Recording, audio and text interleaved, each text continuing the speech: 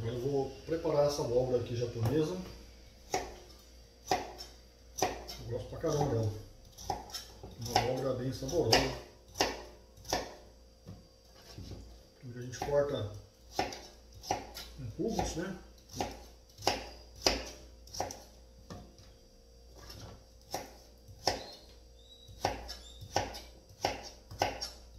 Dá com a mão aí, gente.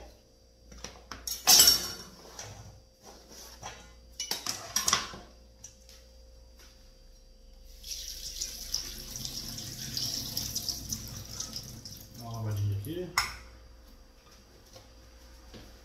Agora vamos dar uma refogada no alho, né? Um pouquinho só de óleo.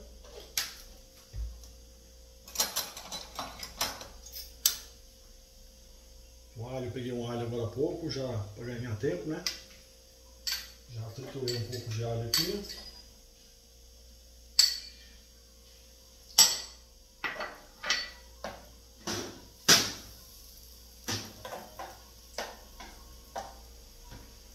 Eu gosto de temperar comida com bastante alho.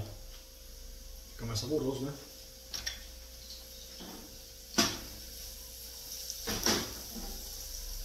Fica bem mais gostoso a comida.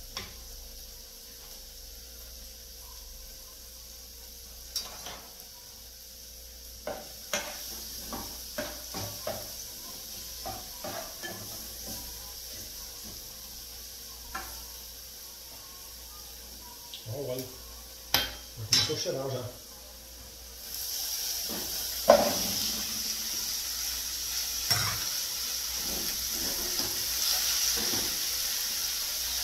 Agora a gente vai colocar um pouquinho d'água para ajudar no cozimento da abóbora.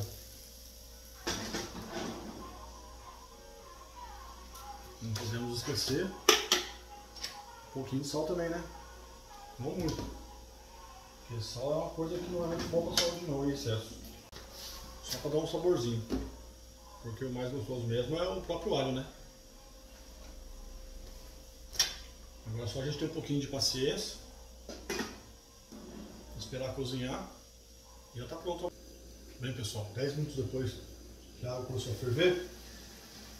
Dá uma olhada aqui. A abóbora já está cozida. Vou até experimentar uma para ver como é que tá.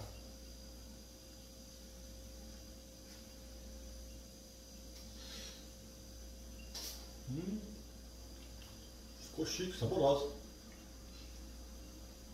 Prontinha para servir. Legal pessoal, fica a dica aí. Essa abóbora aqui é uma delícia essa abóbora aqui. Abóbora japonesa. Tá bom? Forte abraço, hein?